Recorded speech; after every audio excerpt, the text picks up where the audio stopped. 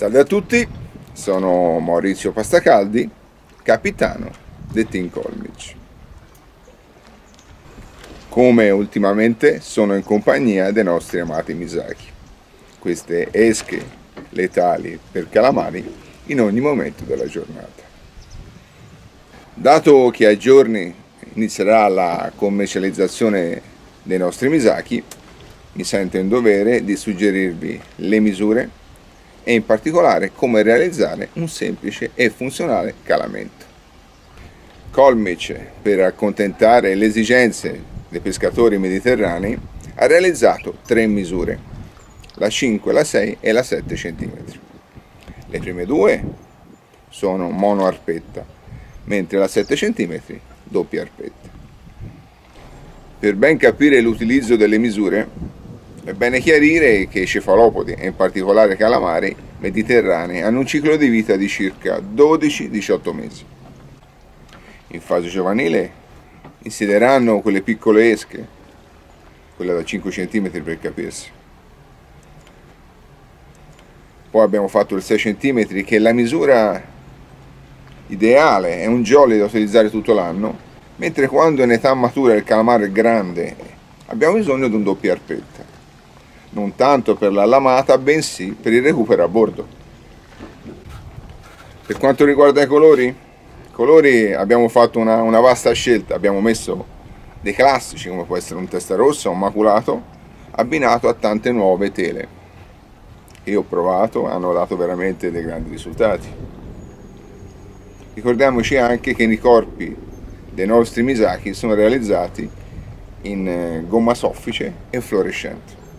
Lo schema tipo è che il colore rosso lavora bene in superficie, il giallo giustamente fluorescente è un universale, mentre il blu si adotta in profondità. Poi noi pescatori sappiamo che ogni momento ha una sua storia, quindi starà a noi nel tempo poter sfruttare e capire i migliori colori per la nostra zona di pesca.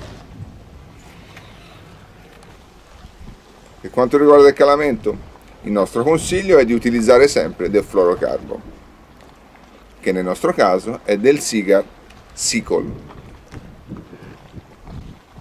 Diametri dallo 0,20 massimo allo 0,26. Diametri maggiorati sono sconsigliati perché tendono a essere rigidi e non dare quel nuoto fluttuante alle in pesca.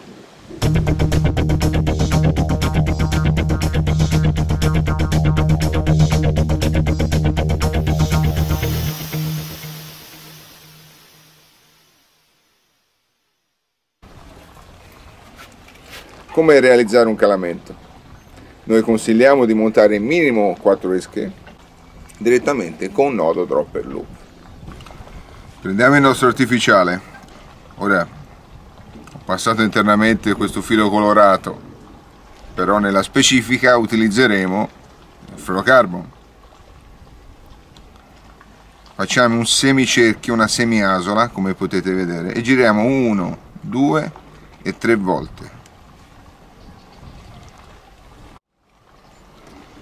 Deve venire tipo una farfallina. A questo punto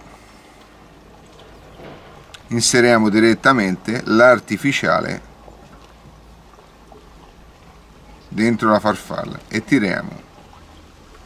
Ed ecco realizzato il nostro semplice dropper loop. Vedete?